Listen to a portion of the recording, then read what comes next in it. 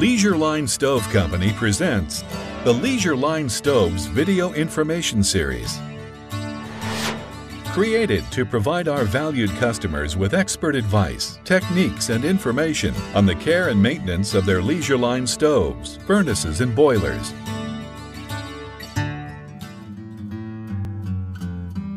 On this part of the video, we're going to explain the power vent system, uh, the barometric damper, the uh, safety switch, and the rheostat on the power and how this all hooks up, how you put it through your wall, hook it up to the stove, and uh, just get everything in working order.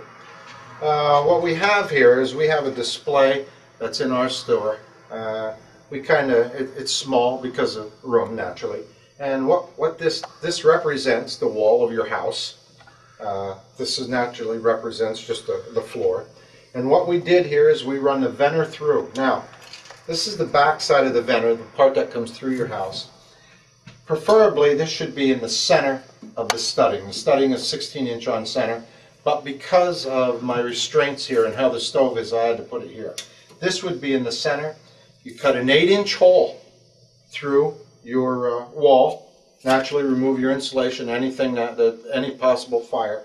Remove it all have this 8 inch hole. This mounts on the outside, which we'll show in another part here. This comes through. It's all pre-wired on a rheostat. This plugs directly into a wall outlet, not into the stove. This plugs into a wall outlet. It's on a rheostat. When you first turn it on, it's on high. As you turn it, it's just like a dimmer switch on your lights. It slows things down to a point where it almost stops. When it's on full blast, which you probably can't hear, but when it's on full blast, this will draw up to 170,000 BTUs.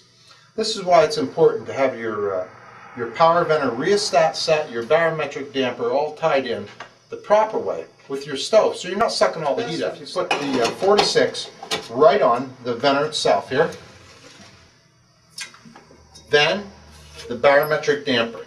Now this barometric damper has a swivel head to it in case you would run the barometric on a vertical or horizontal. Has a weight on it here. And on each side of this V, there'll be, or each side of, uh, of this bracket here, there's a V or an H, meaning horizontal or vertical. This depends on how you mount it on the stove, whether it's a top vent stove or whether your pipe's running vertical or horizontal. This is the weight itself that controls how that gate opens. I'll set it down like that. And with the weight all the way to the front of, of this bracket here, of this V we'll call it, this gate opens real easy. You bump it with your finger and you can see how easy it opens. You put the weight all the way to the back, you bump it, you can see it hardly opens at all. This weight, or this, uh, this bracket here has numbers on it. Two, four, six, eight, so on and so forth. When setting this barometric damper, setting the weight on it for your power venter, you want to set it right around the number 4. Now I realize my hands are kind of in the way here. But you want to set it right around the number 4. There's a mark there. And your power vent or your uh, barometric would be set. This would slide in to the 4 to 6 reducer. This does not need to go right here. You can put this on the back of the stove. You can put it, you can have a pipe here as long as it's from the stove to the venter somewhere in this area. Not necessarily right here, not necessarily off the back of the stove, wherever you prefer. With this in place, then naturally your stove would hook right onto here, or a short piece of pipe, or a long piece of pipe, or whatever the case may be, to have it where you want the stove to set. Along with this, we have uh, uh, a safety, uh, safety switch. This safety switch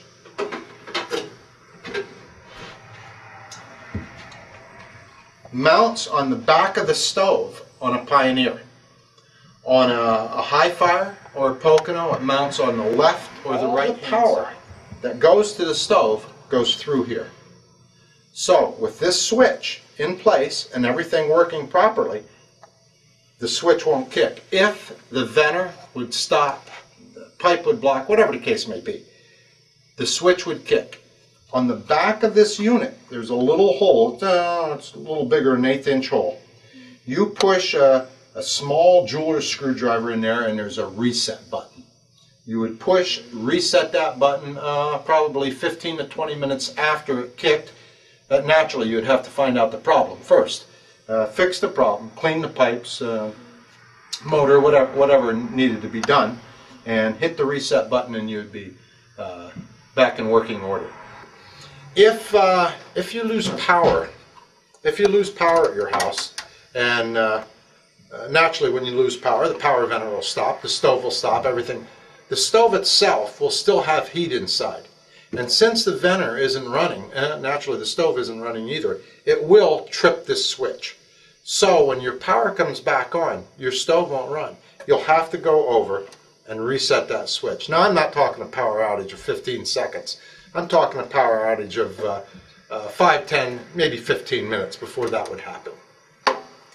This is uh, the basics on the, on the power venter, how it works and, uh, and what it does. Uh, like I say, you don't want to run the power venter real hard. When the stove is burning is when you should set everything. If you don't have a draft gauge, uh, which naturally not, not many people do, plumbers do, uh, your stove dealer more than likely has one. I, uh, I think that this, the power venter itself should be installed by the stove dealer or a professional. Uh, it, it's not real difficult, but if it's done by a professional, you know it's done right. Uh, don't install it, don't run it without reading uh, the book on it, how it works, how to maintain it, and all the safety features of it. With every stove we sell, there's a carbon monoxide detector that comes with every stove. I tell all our customers, put a carbon monoxide detector on each and every floor. Uh, carbon monoxide is a deadly gas and it's odorless. The carbon monoxide detector will pick up 50 parts per million, which is just a minute little amount. So for your own protection, for your children's protection, everybody, put a carbon monoxide detector on every floor. It's an extra 40 bucks and it could save you. Everything here is uh, comes in the power vent kit.